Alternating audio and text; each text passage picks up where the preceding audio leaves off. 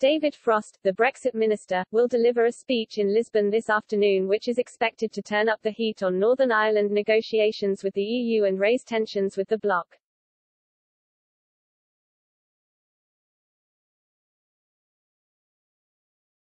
In an explosive speech due to take place at 3.15 p.m. in Lisbon on Tuesday, David Frost, the UK's Brexit minister, will hammer the EU's attempts to resolve the ongoing disputes over the Northern Ireland Protocol.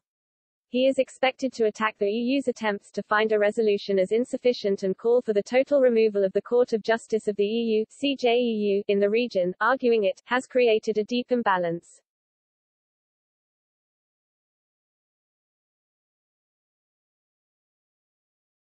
The speech will throw a major spanner in the works for the EU, with a major package of proposals from the bloc due to be unveiled on Wednesday.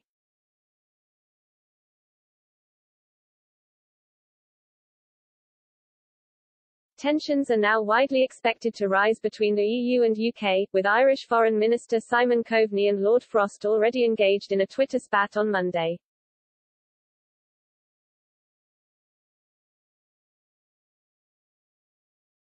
The two sides, who agreed the arrangements for Northern Ireland as part of Brexit talks, now disagree on how trade rules in the region are being implemented.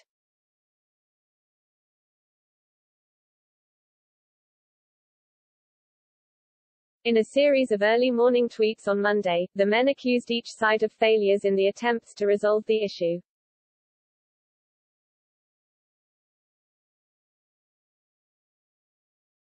Mr. Coveney tweeted, EU working seriously to resolve practical issues with implementation of protocol, so UKG creates a new red line barrier to progress, that they know EU can't move on, are we surprised?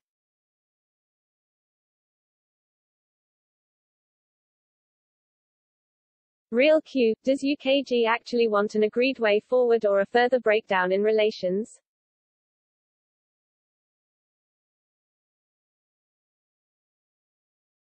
To which Lord Frost responded, I prefer not to do negotiations by Twitter, but since at Simon Coveney has begun the process.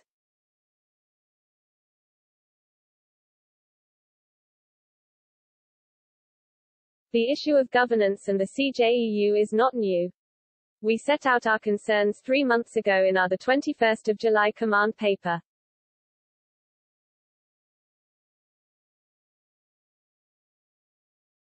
The problem is that too few people seem to have listened.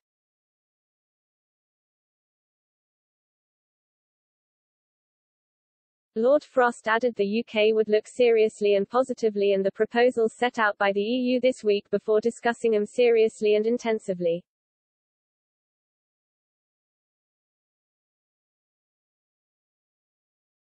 But he added, there needs to be significant change to the current situation if there is to be a positive outcome.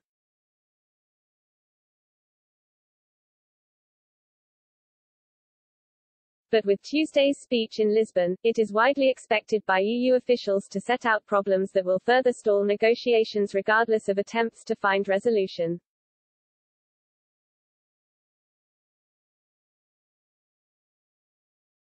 Lord Frost is also expected to say once again that he and Boris Johnson are prepared to trigger Article 16 and suspend the Northern Ireland Protocol if they are not happy with the EU's solutions.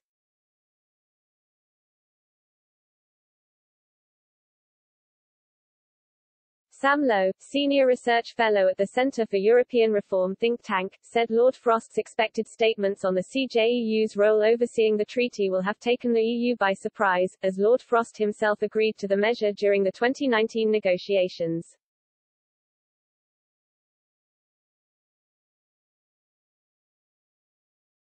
Mr. Lowe said, the fear is that Frost is just adding things to his list of things to be upset about so as to ensure the EU can never properly satisfy the UK's demands so he can keep this argument rolling on.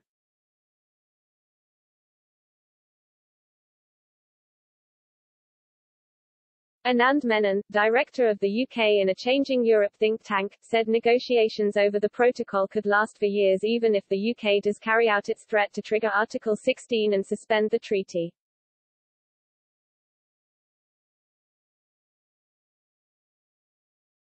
He said, it would just be more of the same, it's very technical, it's very legalistic and you won't have the gotcha moment.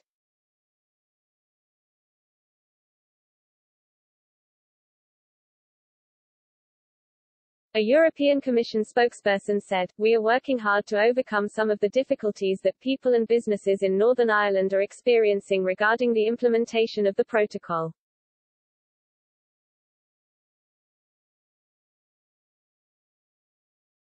We need long-lasting solutions to provide predictability, stability and certainty in Northern Ireland. We will come forward this week with concrete proposals.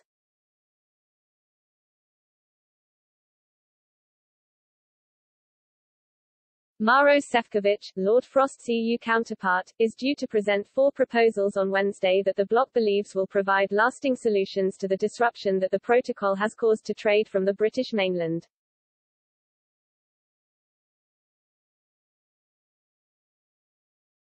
They will cover the sale of British sausages and chilled meats in Northern Ireland, the supply of medicines, animal health rules, customs procedures and a stronger role for Northern Ireland's institutions in managing protocol.